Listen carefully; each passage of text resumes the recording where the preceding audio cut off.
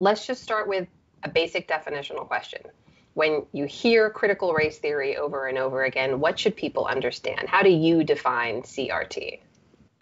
So I first want to just make a distinction between CRT, which is a theoretical framework that I learned in graduate school uh, or and read about in graduate school, versus teaching about race and racism in American history critically.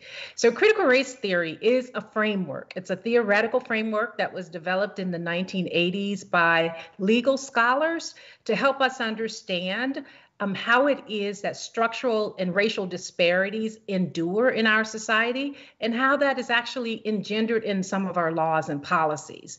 And so the idea was to get us to think uh, systemically as opposed to just thinking that racism manifests um, by individuals just mistreating each other. That there are actual structures in our society that create these different kinds of racial gaps and racial disparities economically um, in terms of housing, in terms of education. And so that's what they do, is that they actually show us how the law, um, how laws that are supposed to be mutual, um, uh, uh, neutral actually can promulgate or support racial disparities. That's a theoretical framework.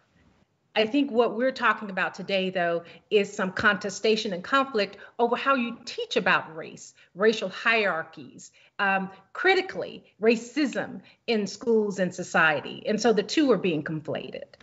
And so when you hear people talking repeatedly about critical race theory, what, you, what is your thought? Well, I hear people talking about critical race theory. I see that as a straw man for um, many communities, politicians particularly, trying to shape the knowledge base and what we teach students.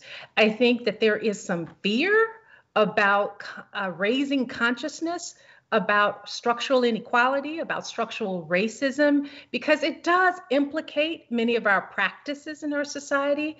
It implicates what we, it indicates what we would have to do differently in government.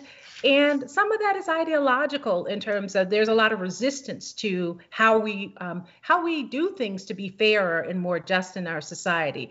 So you know there's actually there are a number of um, i read a really good article just uh, yesterday in the new yorker about the origins of this conflict and who's behind it. And it's a concerted effort by um, many on the right um, to mitigate the extent to which we really augment and increase the understanding of racism in our society